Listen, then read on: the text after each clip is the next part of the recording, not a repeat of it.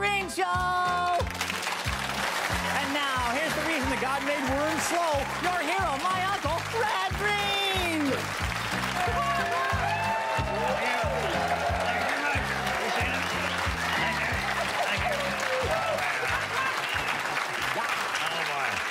Thank you very much. We got a great show for you, and let's get right at her because I got to get my old bat and arms warmed up.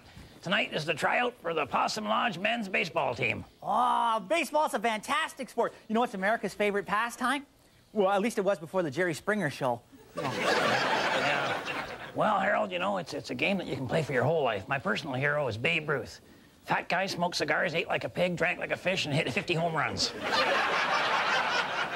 Well, you got four out of five covered. No, no, Harold, no, I'm, I'm saying, like, if you're a natural, you can do it for a long, long time. I mean, I could be the next Cal Ripken Jr. Just call me the Iron Man. How about the rust bucket? you know, I find it very odd that no one's invited me to try out. Really, that's a surprise to you, is it, Harold? Well, yeah, I mean, I can throw, I can run, I can hit. You know, I should be allowed to try out at least. Well, all right. Come on out. You can uh, try out as back catcher. I, I don't have any pads. I know.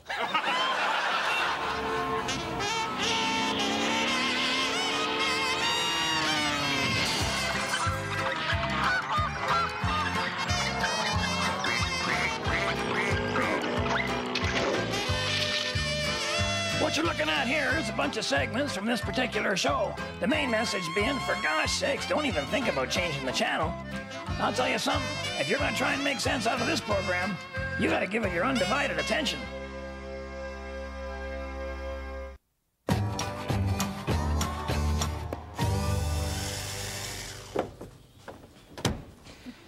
Well, there's no joy in Mudville, I can tell you that. It was just a, just a bad luck day. You'll do better next season, Uncle Red. Can't believe I didn't make the team. Where'd I go wrong, Harold? Well, you know, you were a tad slow against that fastball. Yeah. He was still swinging when the other team was coming off the field. well, hey, that was a really good attempt at a bunt, though. No, that wasn't a bunt attempt, Harold. I was getting stomach cramps from the chili dogs. And I just, I'd bent over to let the pressure off there. You know, the ball hit the bat. I bunted and belched at the same time. I didn't even hear it hit. The bunt, that is. But it was, it was a close call at first, don't you think? No, no, not at all. No? No, no, your slide was more of a, a flop. You know, I don't think going head first is a real good idea. And you know, really, you shouldn't start sliding until you're at least halfway close to the bag. You I, know, tri- I tripped, Harold. I tripped. Okay, you know, okay. sure. Uh, you weren't doing so great at catching. I saw you there. Every time you threw it to the pitcher, went way out in the center field. but don't worry. Looks like I'm going to be sitting in the stands with you this year too. oh, not with me. Huh? I made the team. What? Yeah, I made the team. I made the team. I did. They said they never saw anybody with a right arm like mine before, so they signed me up as the pitcher. You made the team, Harold? Oh, yes. Yeah, I asked for $5 million over three years with a $200,000 signing. But, you know, I settled for the free shoelaces. Uh, well, uh. Okay, wait, good, good, very good. Yeah, excellent. Good, good. That's- you know what I'm thinking? I'm thinking they've really lowered their standards since the league expanded. You know? Yeah. Oh, yeah. Yeah, Oh, yeah, I yeah, think so. yeah. It You know, happens, it's yeah. too bad if they lowered them anymore. Maybe you would have got on. Well, now later on in the show, we're going to have adventures with Bill. We're going to do a little go karting, you know, something about men and cars and stuff. And, uh, you know, I, I, I guess I should have gotten out of the cart. Bill's got the gas going there, and I should have gone with the self self serve. I'm getting I'm getting soaked here, Bill, and gas all over everything. And anyway, we're all set to go. Get the funnel out of there, Bill. Have you some gas? Yeah, have you some gas in there? Might want to dry that off, Bill. Don't just start her. You got to dry that off, Bill. Bill, don't just start it. You got to get the gas. Bill, it's not safe. Oh no, it's fine. All right. Ezekiel saw a wheeler rolling way in the middle of the air. Oh, I like to go out after dark and fire my gun just for a lark. It's a hobby most other folks find strange. But I like the mysterious thrill I got, never knowing exactly what I shot. Except for that time I forgot to park my van out of range. Okay, this is for the big one. Two hours of hydrotherapy at Ernie's Car Wash. Uncle Rick, you have 30 seconds to get Mr. Winston Rothschild to say this word. Suicide. and go. All right, uh, depression. Depression. Septic hole. Sad. Empty septic hole. If you had to go down Stinky Peterson's outhouse to unclog your hose, that would be 50 bucks plus tip. um, uh, what's that guy's name? Um, um, Kevorkian. Self-help. Um, uh, Harry Caray. Chicago Cubs. No, I'm not the announcer. What announcer? Flying with Buzz Sherwood. Oh, suicide. Yes. Bet you never thought you'd see me doing this, throwing out my old record album. But hey, technology changes. You got to keep up with the times. I'm switching over to that new audio system, eight tracks. I just threw out the covers, not the albums. Because this week on Handyman Corner, I'm going to show you what you can do with your old record albums. Don't throw them out. Throwing anything out just because it's old and won't play anymore is a dangerous precedent for anybody over the age of 40. So instead, I'm going to show you how you can turn these music records into Olympic records. And not just for discus. Boy, the Jefferson airplane could really fly, couldn't they? All right, how about this? Drill the center of the record out, you can use them for lifting weights. You just uh, slide them down the end of your bar there. And uh, actually, you know, if you're, if you're really out of shape, you might want to start with the 45s. And then you just uh, pick them up there. Boy, these are heavy when you get them all together, kind of like relatives. Must be some heavy metal in there.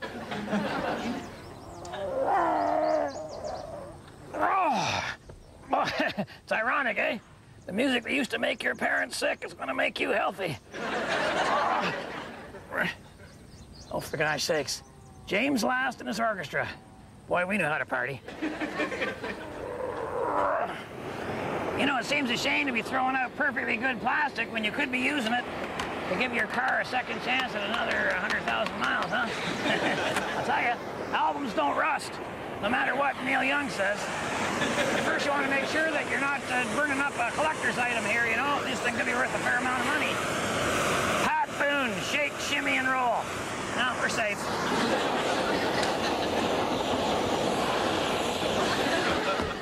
I think the best use of albums, though, is on the roof. They're thick, they're waterproof, they're all the same size, and best of all, you only need one nail. Look what I got here. Ed Ames, Doris Day, Easter a Go-Go, Sounds of Rio 68, Frampton Live. Man, there's enough of them around to redo a subdivision. And I'll tell you, a roof like this is going to last more than a few years. Might even break a record. And when these wear out, you can just flip them over to the B side. So remember, the women don't find you handsome. They should at least find you handy. The moms and dads, Moby Grape, the Hollyridge Strings do the Beatles. Wow, the soundtrack from Love Story. Bernice must have bought that one. Accordion favorites. Well, that baby deserves an extra nail. Tuned and relax. Whatever this is, we got a lot more of it. I wanted to ask you guys about your friends. You notice how your friends are starting to look old? I know they're the same age as you, but you still have your youthful vitality, whereas they've started sagging, dragging, and saddlebagging. Now you're probably wondering if you should tell them that they look like death eating a cracker. you know, uh, I wouldn't. You know, sure, sure, you look terrific and you have some authority in that area, but I think you'll find that even your best friends, confronted with an ugly truth, can be ungrateful. they may mention your gray hair. Certainly it's not as gray as theirs, and when you comb it up over your bald spot, you look as young as anybody who combs it up over their bald spot. But instead, I would say compliment your friends on how good they look. I'm betting they'll do the same thing to you. And nobody needs to know that at least one of you is lying. Especially you. Remember, I'm pulling for you. We're all in this together.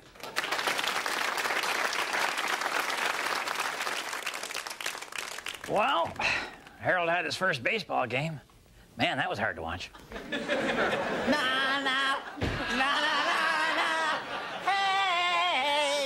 good riddance.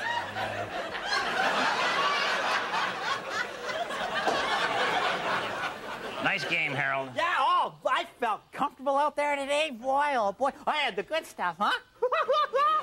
I had real movement on the fastball, you know, and I was getting the breaking ball over, even when I was behind in the count. Ah.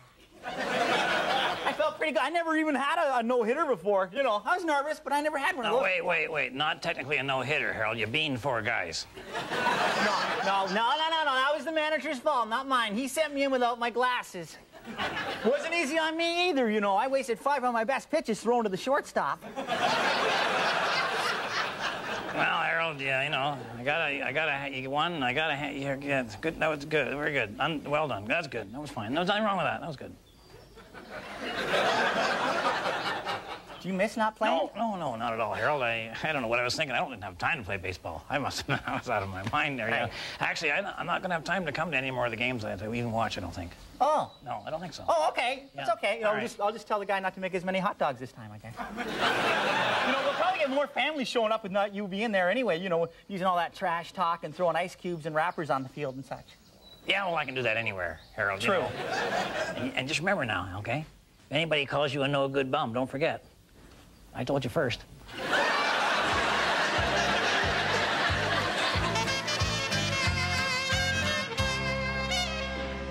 So you can see in those terms why to women, movies have to have more than just guys machine gunning each other down. okay, who else would like to share with the group? Oh, Buzz. Uh, hi, I'm Buzz, and I'm a man. Hi, Buzz. um, I think I had a breakthrough last night. Oh. Um, I was sitting at home watching uh, television. The, the swamp buggy races were on, and I was sitting there minding my own business, and she comes home, right? And I know right away something's wrong because she's sighing and she's stomping. You know, the stomp, stomp, stomp. stomp, stomp, stomp, stomp. so, okay, so eventually I sat up, I muted the TV, and I said, What? Very good. All right. So then she starts unloading on me, right, about her family and her sister's so called dancing career, right? And then I'm thinking, wow, I gotta book some talent because we got a hockey banquet coming up.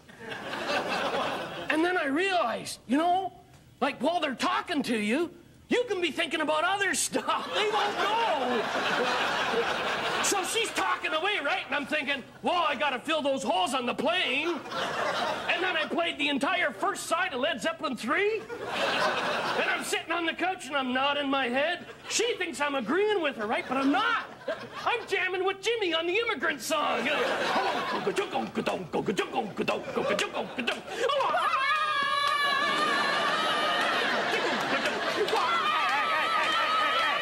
hey, hey, hey, hey, hey.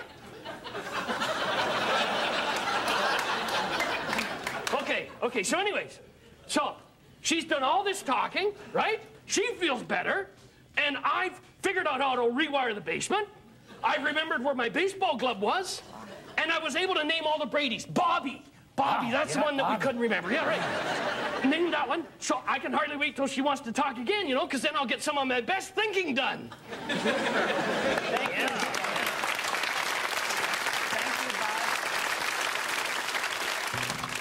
Well, hang on to your testosterone because today on Adventures with Bill, we're going go karting. By golly, I don't think you ever outgrow that. That's we're just making it a little bit safer here now. We got the big truck tires. We needed a needed a few more tires, and uh, well, these are a little smaller, but no, they'll work fine. Oh, those are fine, Bill. That's exactly what we needed. Four more. Where'd you get these? A little different size, Bill. Bill, where'd you get these, uh, Bill? Bill, where'd you get where'd you get these tires? Oh. Great. That's, no, that's great. All right, so we thought we'd, you know, make it a little race. I don't know, maybe something about uh, something about us guys. We like little competition. So Bill gets like going to wave the green flag, and I said, well, I might as well go. little advantage, little advantage. What the heck? Eh? well, he's got the faster cart. That's only fair. And by golly, you know, your mind goes back to when you were a kid, you know, on the sidewalk, you know, on your big wheel or whatever, running over small animals and stuff. It's just a lot of fun.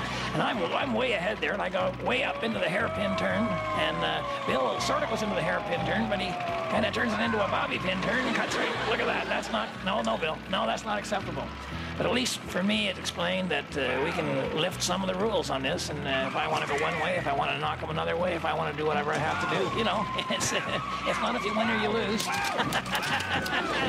oh boy, it's if you win. oh, there you go. All right.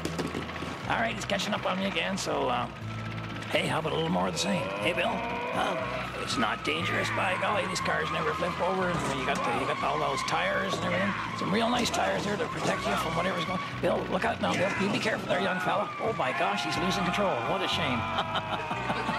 well, I'm doing well now. Hang on, Bill. Hang on. Hang on. There, you're gonna.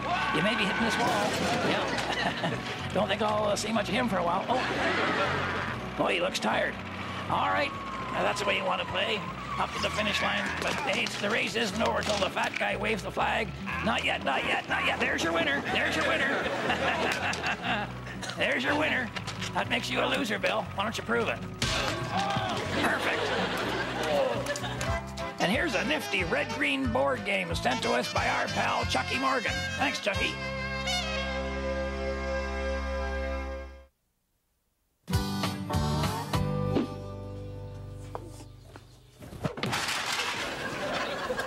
Sorry, Harold.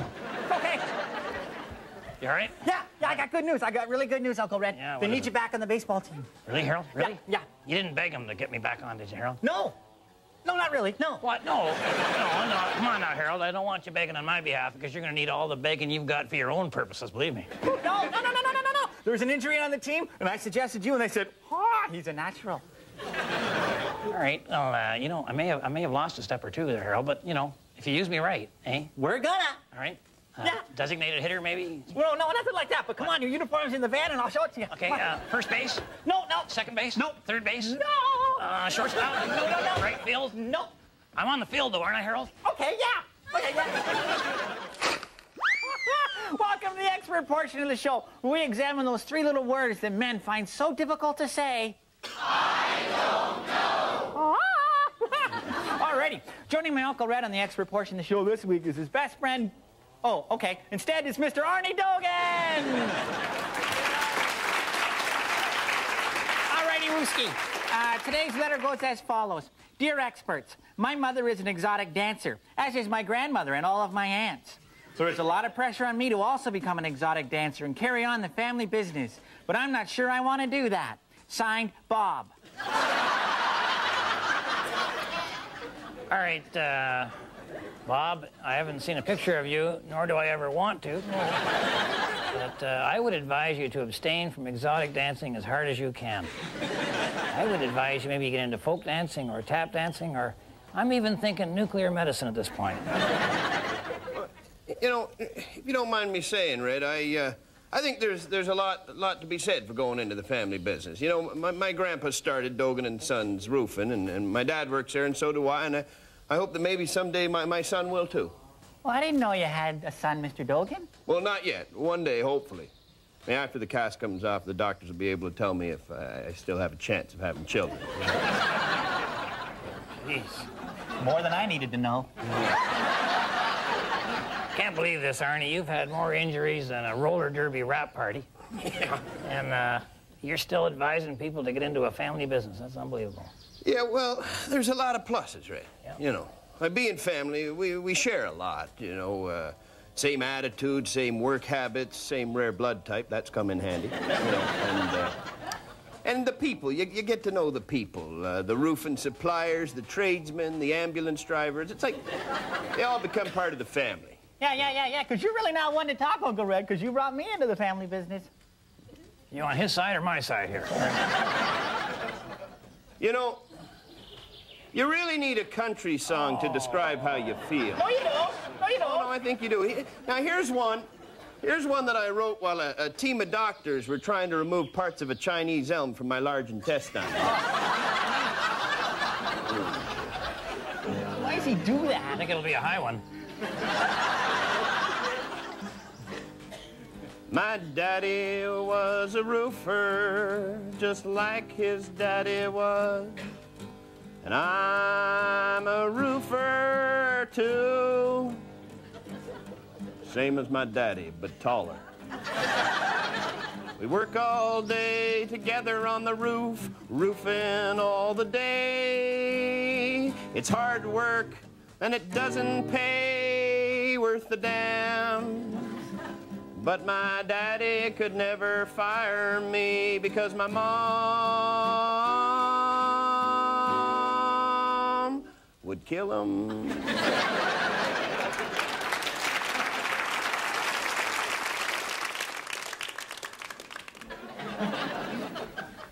I have never been so humiliated in all my life. Uncle Red, come on in here and tell them what you did.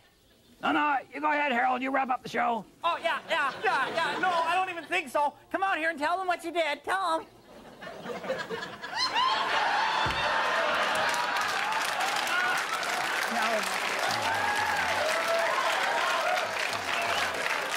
Tell them what you did. I don't feel like telling Do you want me to tell them what you did? All right, well, being the mascot was about the last thing I had in my mind, so I didn't really start off in a great mood in the first place. I'll get you on the team, and this is the thanks I get. Harold, the other mascot started it. Did you hear what he called you? You call me that all the time. I'm family. I was just defending the team's honor. I didn't realize it was only a paper mache head. Just think of the message you're sending out to all those young fans out there, huh? A giant bear and a seven-foot parrot leg wrestling at the pitcher's mouth.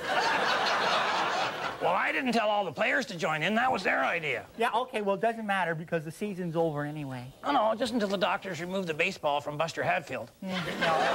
No, I mean me. It's just all over anyway. It's all violence and animals fighting. I got scared. I don't want to play anymore. Well, if it means anything, Harold, as far as I'm concerned, you're a real Babe Ruth. Thank you. Yeah, I mean the chocolate bar, Harold. You're soft and gooey and half nuts. Meeting time. You go ahead, Harold. I'll be down in a minute, huh?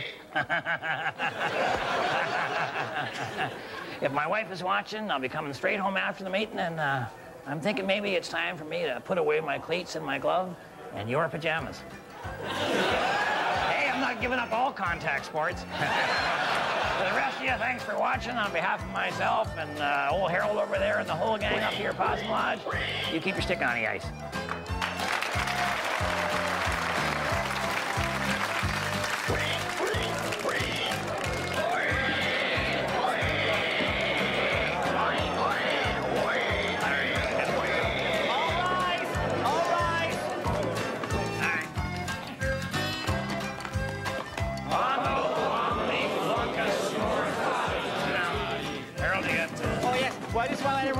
Brannigan food drive went very well. And they say thank you for all the supplies, although they realize their kids are brats. They didn't think the, the paint chips and salsa was a real good idea.